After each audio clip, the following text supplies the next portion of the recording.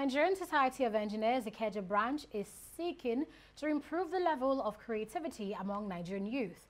The group has now organized an innovation and creativity fair tagged in a Creative Fair 2019. Chairman of the branch, Fumi Akingbagbon, says the event is aimed at opening up engineering and technology innovators to the industry with the intention of advancing homegrown technological ideas, projects and solutions. We'll be having discourse on artificial intelligence. We'll be having discourse on mechatronics.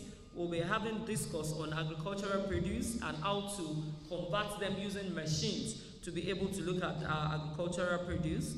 We'll also be taking uh, a competition. We'll also be having a competition and we'll be coming out with the three best innovation uh, and creative ideas that people have been able to come up with in terms of uh, creating machines to solve uh, problems within uh, the stipulated areas that we are looking at. This is going to be the first of its kind and it's going to come up every year uh, for us as engineers and for artisans and for technicians to also be involved in ensuring that we bring solutions to our immediate environment.